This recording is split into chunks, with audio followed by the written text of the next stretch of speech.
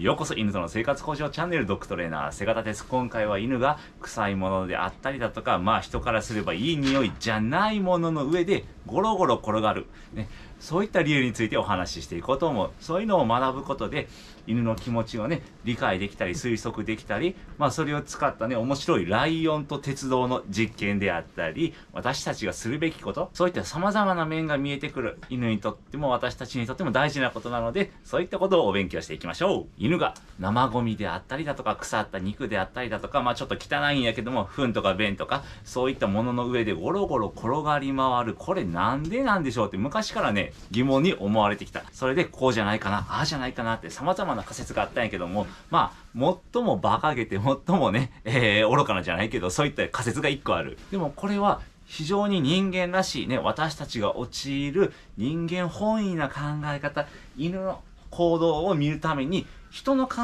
えで見てしまう。犬がこうだからこうなんだろうじゃなくて、人がこう思ってるから犬はこうするんだろうみたいな。全く意味の間違った考え方になってるから、それについても大事やから学んでおこう。何かって言ったら、一つ。寄生虫を退治するためにやってるんじゃないかなっていう考え方。ね。それが仮説。まあ、寄生虫って何やねんって言ったら、まあ、飲みとか白みとか、まあ、そういったものを想像してもらえたらいい。私たち人間からすれば、生ゴミとかね、腐った肉とか、それらっていうのは非常に不快なもの、嫌なものっていう感覚があるやんか。そこから逃げたくなるものっていう感覚があるやんか。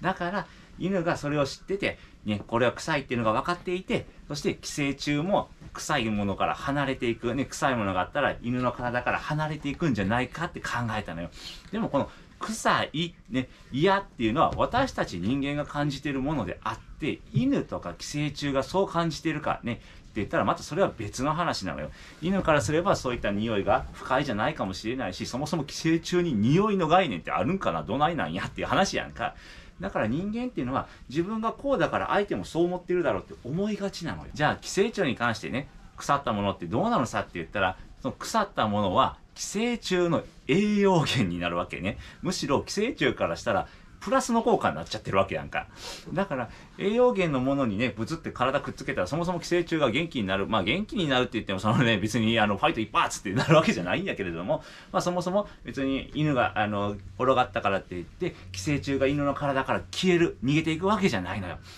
こういう風にして、知識っていうことを知っておかないと、私たちは自分の落とし穴に自らはまっていく。人間がこう感じてるから、こう思ってるから、犬もこうなんだろう。寄生虫もこうなんだろう。人間が臭いものを嫌うから、犬もね、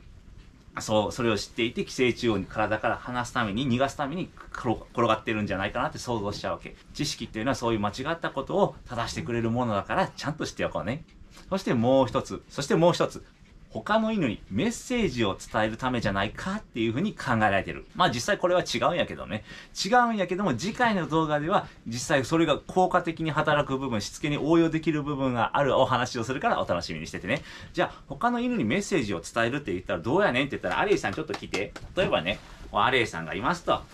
で、この、例えばこれが腐ったものだったとしましょうよ。これ腐ったものをこうやってアレイさんがこれ体にこう、ねへねへねへねへねへってこすりつけて、でね、そしたら、このアレイさんに匂いがするわけやんか。なんか食べ物の匂い、いい匂い。まあ、いいいい匂いって言ったかね。あの、食べ物の匂い、食べ物があったよっていう証拠になるやんか。それを他の犬に伝えるのね。りーちゃん、ちょっと来て。りーちゃん。はい、ありがとう。こうやって、例えばね、アレイさんが巣に、仲間のとこに戻ってきて、ほら、ええ匂いありますぜってね、アレイさんの方からお肉の匂いついてますぜって。でね、あの、リーちゃんがそれを匂いを嗅いで、おそうか、一緒にじゃあ行こうかみたいな。テコテコテコとか、アレイさんの匂いを嗅いでリーちゃんが、その匂いの元を辿っていくかって言ったら、それはなかったのよ。だから体に匂いをつけて仲間にほらほらってアピールして、ねえー別の場所まで案内するみたいな考えが、考えはあったんやけども、どうも犬それしないね。も うそういう狼も匂いのついたメンバーが帰ってきて、じゃあそこまで一緒に行きましょうかみたいなそういう行動は見られなかったから、どうもメッセージを伝えるのとはまたちょっと違うなってなったの。そして今、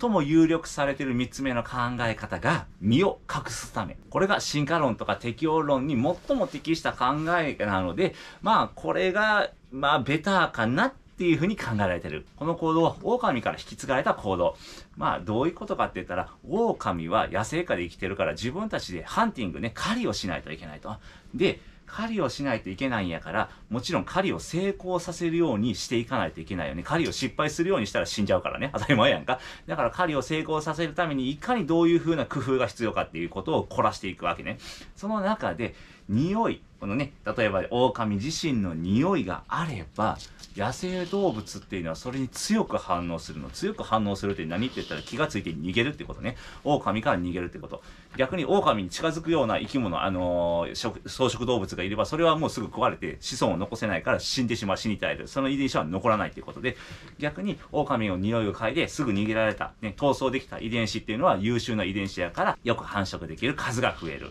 そういうことにつながるわけね。その狼自身も考えるわけ。どういうことをすれば自分の匂いは隠せるのかな？まあ実際そんな風に考えはないんやけれども、そこでね、とある狼がなんかふとこう思いついたのか、まあまあなんかこう突発的な、もしくは偶発的なことでやったんやろうけども、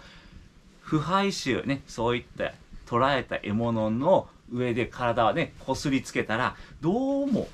獲物が逃げにくいぞっていうのをどこかで気づいたと思うの。なんでって言ったら擬態できるのよ。私たちは、人間は、視覚、目が最も発達してるから、視覚の情報を最も大事にするわけ。でもこの子たちの野生動物っていうのは、やっぱり鼻をね、結構使う生き物が多い。なぜって言ったら、野生下ではそんなね、あの、視界が開けたところばっかりじゃなくてよ。やっぱり隠れた先に何がいるか分かんないとかなってくると、音であったり、鼻であったり、そういったものが重要視されて、されていくわけね。人間よりも、やっぱりその器官、鼻、耳、聴覚、が発達してるわけ。この子たちの祖先の狼が野生下の動物、草食動物の匂いを身にまとい、偽装する。ね。私は肉食動物じゃありませんよ。草食動物ですから安心してね、じゃないけれども、そういうのを身にまとうっていうのが良しとされてる。そういう理屈は私たちは分かっても、多分ね、そんな犬は、犬たちは分かってない。ただただ遺伝情報として引き継がれて、ずっと脈々ね、受け継いできた行動だけが残ってると思う。だからこの子たちのね、犬っていう生き物も何かそういった有機物の匂い、有機物ってまあざっくり言ったらあの動物とか植物とか有機物のね、そういった匂いがあれば、ついつい祖先のこう遺伝子がこう動くようにね、プログラムされてるから、ゴロゴロゴロゴロってするのも納得できるっていうわけね。まあこうしてね、知識があれば、犬の気持ちも理解できるわけ。理解してあげるっていうのが大事やんか。人付き合いでもそうやけども、何か一個のことをポンってすれば相手が好いてくれるだとか、もう無条件でね、こう愛情くれるって、そんなことありえないやんか。まあありえるかもしれんけど、まあそういうのって大体長続きしないやんか。で、やっぱりちょっとした気遣いとか心遣いの積み重ね、日々のそういったね、すれ違いをなくしていくことで、相手への信頼感とか安心感が増えていって、まあ今、リーちゃんで言えばこうやってね、私にこうべったりくっついてくれたり、まあおもちゃ取り上げてもそんなにね、怒らなかったりしてくれるわけやんか、こうやってほら。よし。ね。大好きなおもちゃやけど、私が手を口に入れても、ほら、噛まれ、噛まずに、はい、じゃああなたにあげるよ。こういう信頼関係があるわけやんか。こういうふうな知識を知っておいて人間本位にならずに、犬ってこういう生き物なんだ。そんだけ匂いを大事にしてるもんなんだっていうの分かれば、一つ優しくなれるわけね。まあ人間からすれば、あの、ちょっとね、臭いものの上にゴロゴロされると、うんってなるかもしれないんやけれども、まあそうか、この子たちはまあそういったね、性質があるんだなって思えば、ちょっと自分の中でも理解ができるやんか。全く理解できない相手っていうのはやっぱり人間は拒絶したりだとか、反発したりするわけね。でも理解があれば、ちょっと優しくなれるっていう性質を人間も持ってるから、そういうのを知っておくために知識が大事なわけね。そして面白いのが、その冒頭であったライオンと鉄道の関係ね。えっ、ー、と、2004年やったかなえっ、ー、とね、2002年か。2002年にね、和歌山の鉄道のお話。和歌山の鉄道では、2002年に電車と鹿の衝突事故っていうのが202件あったのよ。ね、電車がボーンってきて鹿、鹿がまあかわいそうにね、そこで引かれてしまうっていう事件があったの。まあそれはもちろん鹿にとっても不幸やし、電車、鉄道会社にとっても大変なのね、やっぱりそういう事故があったりね、電車の安全であったりとか、鹿のね、死体処理とか多分しないといけなくなっちゃったりするんで、もしくはね、あの、鹿が飛んでいた先に人とかいると、それもまた危ない話やから、できるだけ事故は少なくし少なくしていきないの。少なくしていきたいのね。そこで一度試されたのが、アドベンチャーワールド。ね。アドベンチャーワールドで飼育されているライオンの糞。ね、そのライオンの糞を40キロ